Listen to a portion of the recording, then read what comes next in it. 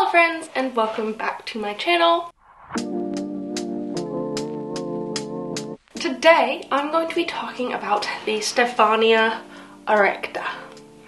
Look at this gorgeous thing. If you don't know me already, my name is Emma and I make houseplanty content all over the internet. So if you want to follow along with my houseplant journey and maybe learn something along the way, check out the rest of the videos on my channel and give it a subscribe. And also stick around with this one because like, let's learn about this. It looks kind of like you've just put a potato on some soil. It's not a potato, it's a completely different thing, but it looks like a potato. But it's sprouted a long vine and these like insane gorgeous round leaves which is absolutely gorgeous. I think they're super fun. They're kind of a little bit more of a challenge plant for someone who's had a little bit more experience growing plants. It's probably a good like moderate level. Like I wouldn't call it easy, but they're not like that, that difficult either. They're also not like any of the other plants in my collection. They are a deciduous plant, which means that they die off in autumn and winter. They go dormant. The bulb you can replant again in the spring and have it grow again, but it is not a like perennial plant. It will not stay around all year. So it's just a bit of fun that I get to have every year, planting it up again and seeing how like the new vine grows and how it sprouts and how it's different every time, which is super fun. So I thought it'd be good to start this video talking about the potting of this plant because you can buy them like potted and sprouted already from a store in like the spring and summertime, but it's more likely that you're going to be buying it as a potato like I did. This, this little potato-like thing here, this is a Stephania erecta bulb, or just the Caudex. And if you just have the Caudex, you're going to need to pot it up. Also, this happens every year in the spring and summer when you want to give it a new life. So the first thing that you want to do when you are trying to plant this up again, either after dormancy or if it's your first time having one, you want to kind of wake it up through soaking it in lukewarm water. And you want to soak it from like overnight to 24 hours. I personally wouldn't leave it any longer than 24 hours because you could risk the Caudex like rotting basically. You want to fill a pot that's a little bit bigger than the width of your Caudex. You can see mine, it's like maybe a centimeter bigger. I probably could have gone a centimeter even bigger in this pot, but I really like the look of how the Caudex is like almost being the only thing that you see in the pot. And then you fill that with your substrate of choice. You could use soil, and if you are, I will talk about that a little bit later in the soil section, what soil you wanna use. If you do wanna know exactly what soil to put it in right this second, skip to this time in the video, and I'll be talking about soil. You can also put it in perlite and do a sort of semi-hydro thing. That's what I did last year when I was growing it for the first time. I just used perlite, like damp perlite, and it sat in a water reservoir. So it was like always getting some sort of water. But this year I decided to try soil as well to mix it up and both of them have worked with perfect success. So it just depends on what you want and what's easier for you. It's, fun to experiment and try new things. And because this is a deciduous plant and it dies off every year, you can try new things a bit more regularly than you could with other plants. So that's just a bit of fun. You then want to place the Caudex on top of your substrate. Also, it is important to note which side is the top. You want to put the side with the bumpy bit, this sort of nipple-ish thing. I don't know how to describe it. You want to put that at the top because that's where the plant is going to grow from. The rounded side is usually the bottom. So you want to make sure that that side's down so the roots can go down and then fill in around the edges. Do not bury it. You don't want to dig a hole and put it in and cover it with soil. That is not the goal. You want at least 50% of the Caudex sticking out of the top of your soil. I think mine is buried as deep as I possibly could bury it, but you can do anything from like 20% and it can still grow just as well. Then give it a thorough water and put it in a nice warm, humid, bright place. Humidity is one of the big keys to getting these to sprout. They pretty much won't sprout unless they have high enough humidity. Then just be patient.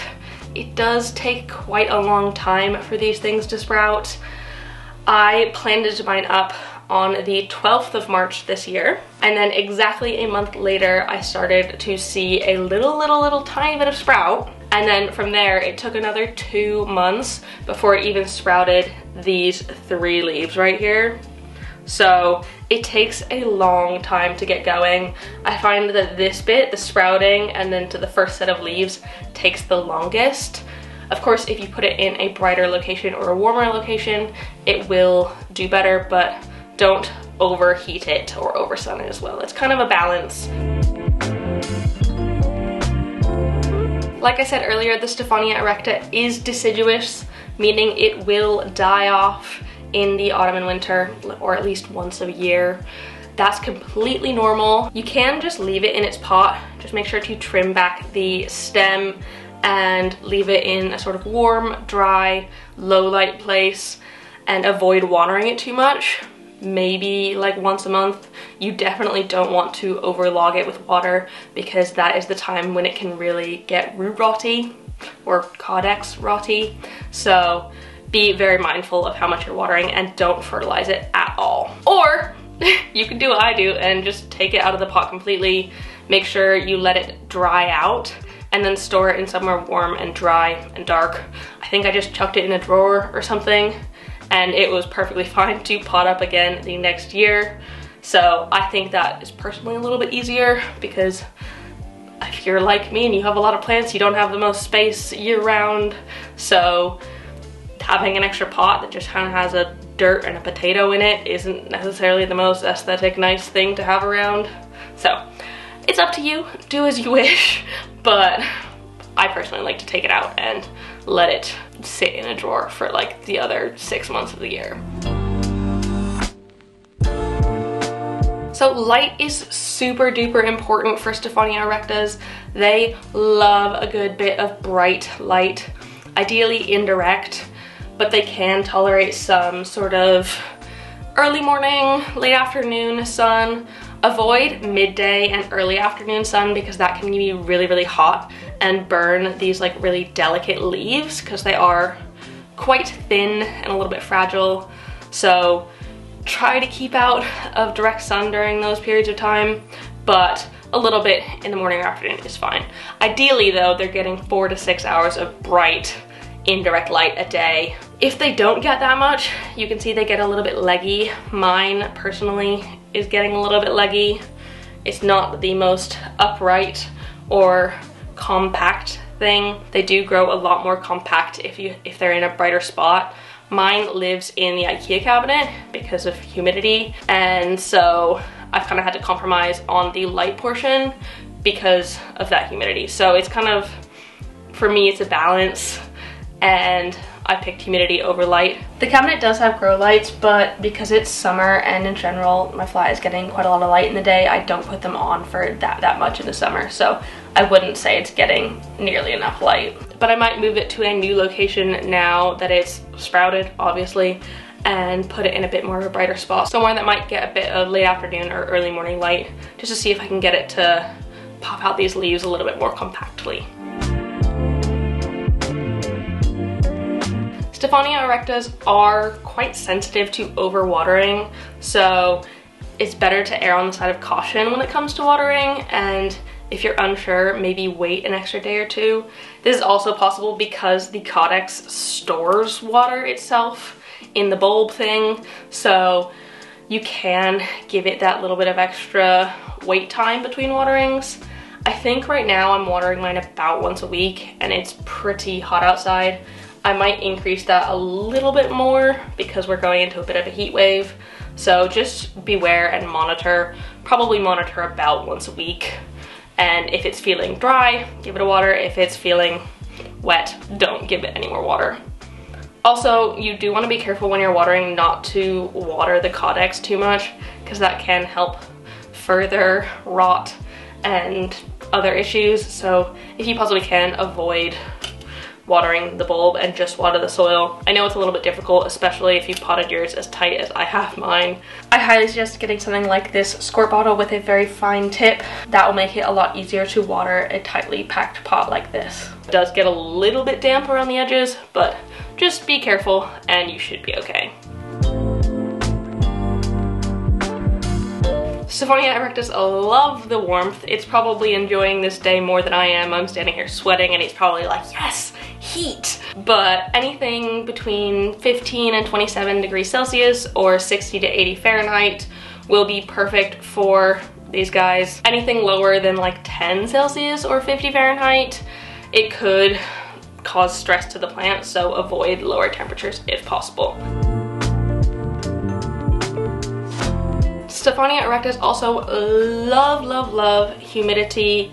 They love it to get them sprouting and they also love it once they are sprouted. They'll tolerate anywhere from 50 to 80%, but their ideal is over 60% humidity. So if you can give them that, that would be awesome. To do so, you can put them in a room that gets quite high humidity, like your kitchen or your bathroom, as long as they're getting enough bright light, that should be perfectly fine. You can also group plants together, put it on a pebble tray, or get a humidifier.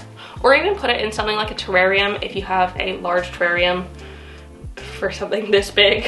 I personally don't, but mine lives in the Ikea cabinet, like I said, because it gets quite high humidity there, almost always over 60%, even up to like 80, sometimes even 90. And I did put it there specifically for the humidity, uh, but it doesn't get as much light, so it is a balance.